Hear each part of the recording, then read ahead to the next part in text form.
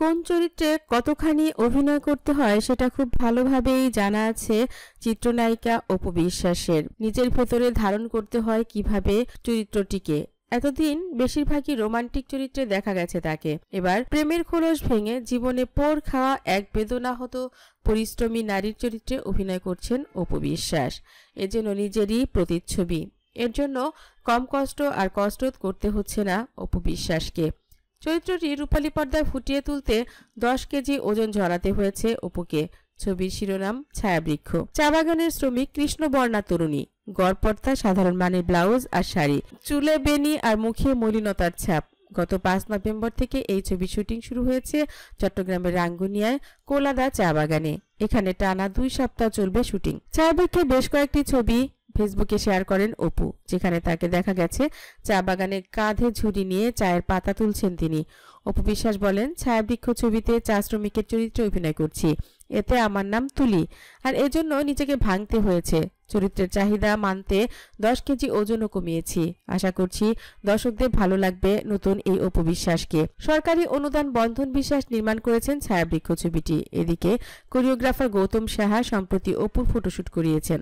তার গায়ে জড়ানো ছিল আঞ্জারার কাপড় আর ছবি তুলেছেন ফাহিম ইসলাম দীপু। এতে স্লিম এক নজর কারা অপুকে দেখে মুগ্ধ তার দর্শক, ভক্তরা এবং এরপর থেকেই তাকে বোধ হয় আর পেছনে ফিরে তাকাতে হচ্ছে না। কারণ একের পর এক সিনেমার অফার আসছে।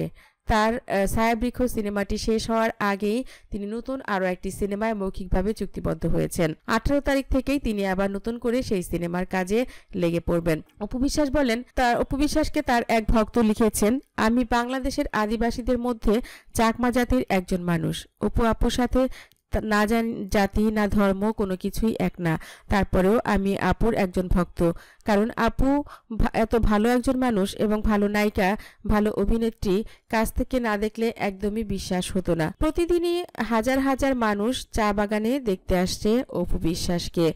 আসলে চা বাগানের এই যে অভিনয়, এতে করে মানুষকে অনেক দূর থেকে তারা আসছেন। কারণ অনেকেই বলছেন যে প্রায় এক বছর বিরতির পর শুটিংয়ে ফিরেছেন অভিনেত্রী অপু। বর্তমানে তিনি যে শুটিংয়ে করছেন, তাকে দেখে একদমই মনে হচ্ছে না যে তিনি কোনো নায়িকা। সরকারি ছুটির দিনগুলোতে চা বাগান জুড়ে মানুষের উপস্থিতি হাজারের উপরে। বাগানের মূল থেকে প্রায় দুই কিলোমিটার পথ হেঁটে দর্শনার্থীরা এক নজর শুটিং দেখতে বেপরোয়া হয়ে ছুটছেন।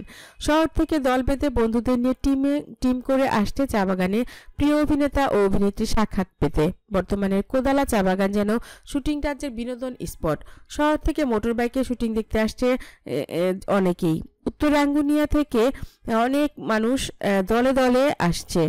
আসলে মানুষের স্ত্রী সন্তানকে নিয়ে এক শিক্ষক দম্পতি এসছেন। তিনি জানালেন, হাতের নাগালে শুটিং চলছে, সুযোগ মিস করতে চাইনি। জীবনে প্রথমবার শুটিং দেখতে এসেছি। আট বছরের কিশোরের হাসি যেন দীর্ঘ পথ হেঁটে আসা ক্লান্তিগুলোর মুছে যাওয়ার বাস্তবিক প্রমাণ। ছবিটিতে আরও অভিনয় করবেন নওশাবা, সুমিত সেনগুপ্ত, শতাব্দী ওয়াদুদ সবাই আসলে এই সিনেমাতে অভিনয় করতে পেরে অনেক বেশি খুশি এবং অনুপ আর তুলিকে দেখে তারা আসলেই সবাই খুব মুগ্ধ। ছবিটি আমার মনে হয় যে অনেক বেশি সুপার ডুপার হিট হবে। আমার চ্যানেলটি যারা পূর্বে সাবস্ক্রাইব করেছেন, তাদেরকে অনেক ধন্যবাদ। যারা এখনও করেননি, সব খবর সবার আগে পেতে সাবস্ক্রাইব করে বেলাইকনে ক্লিক করলেই আপনাদের কাছে পৌঁছে যাবে সব খবর। ধন্যবাদ। but